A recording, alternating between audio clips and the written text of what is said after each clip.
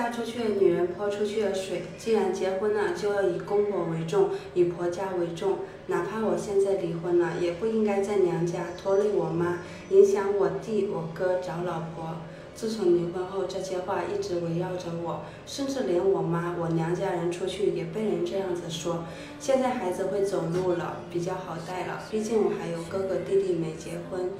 确实考虑的不周到了，所以我决定出去租房子找工作。再难再苦，也就这两年，上学了就好了。其实我也没有说要一直待在娘家，只是我现在的情况，如果说我不在娘家，我能去哪里呢？孩子还那么小。不说了，再不出去找房子，就要下暴雨了。我人家还有一个这讲过。嗯。有七八年没有出来过了，也没租过房子，搞得我们也不知道哪里有房子租，也不知道哪种房子是出租的，哪种是店铺出资，然后只能靠我姐了。有家不住，跑出来租房子干什么？你管别人说什么？像我们这种小镇、小县城，找房子真不好找。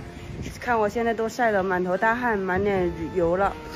宝宝，他脸上。自从学会走了之后，他脸上出了很多伤疤。看看房子怎么样，要多少租金？如果合适的话，就直接在这里租了。也不想带着孩子一直跑，太阳太大了。那个爷爷去拿钥匙，现在还没有过来。来了，来了，就是那个老爷爷来了。我们去看房子。干什么？这个是主卧，但是这里床垫什么的都没有，可能还要自己买。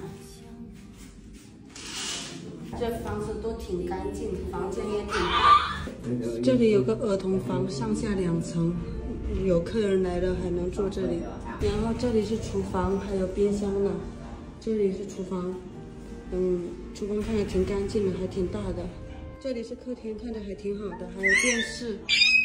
这里外面还有个阳台，你看外面开始乌云密布了，开始下暴雨了。三个房间，物业费、卫生费，再加上房租，总共是一千五。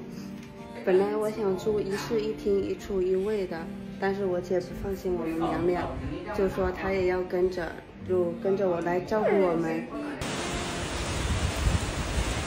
又开始下暴雨了，又回不去了。你感觉这个房怎么样？